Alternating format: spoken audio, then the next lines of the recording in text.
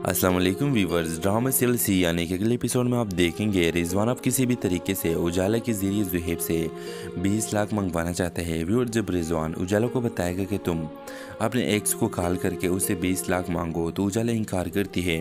Viewer Rizwan उजाला को कहेगा कि तुम्हें मैं कभी भी डिवोर्स नहीं दूँगा। अगर तुम मुझे 20 लाख दे दूँगी तब मैं तुम्हें पारिख कर दूँगी व्यूर्स उजाला इस जुलम। और सिस्टम से तंगा ये है, जब रिजवान घर से बाहर जाता है तो गेट को बाहर से लाक करता है। और व्यूअर्स, अब उस उजाला के पास अपने हकीकी ज़िंदगी में जाने के लिए सिर्फ़ एक रास्ता है, और वो ये कि उजाला जुहेब को कॉल करके इससे कहे कि 20 लाख चाहिए। रेजवान मुझे छोड़ने के लिए मांग रहा है व्यूअर्स उजाला के पास तो जुहेब के अलावा कोई और ऑप्शन भी नहीं है। दूसरी तरफ़ व्यूवर्स नवाल की हरकतें और आदतें इंतहाई घटिया है। और इसके ये घटिया आदतें जुहेब को पसंद नहीं है। व्यूवर्स नवाल ये मानती ही नहीं कि शोहर का भी हकूक होते हैं। वो अपने शोहर का ख्याल नहीं करती, घर से बाहर जाती है। तो जुहेब को पता तक नहीं होती। व्यूवर्स इस आदतों की वजह से जुहेब नवाल को छोड़ने पर मजबूर हो जाएगा।